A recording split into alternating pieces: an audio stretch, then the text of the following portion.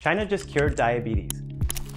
So a lot of people are asking me, can we use stem cells to reverse type 1 diabetes? First, let's talk about the study that they did. This was just a single patient that was able to get off insulin after three months of what's called an islet stem cell transplant. Now, what they're doing is they're taking the patient's own cells and they're reprogramming them using these pluripotent genes that are called the Yamanaka factors and turning this cell back into an embryonic stem cell state. This is called induced pluripotent stem cell, iPSCs. These were discovered in Japan in 2006, and Professor Yamanaka was awarded the Nobel Prize for this. Now, these cells do have a lot of potential because they basically act as a platform to turn into any type of cell. So, meaning that the iPSC can be programmed almost like a computer that you can program and code it to turn into whatever cell you like. So, that sounds amazing, but the issue is with iPSCs because they're so strong in terms of their ability to replicate, they can actually go into uncontrolled proliferation and cause tumors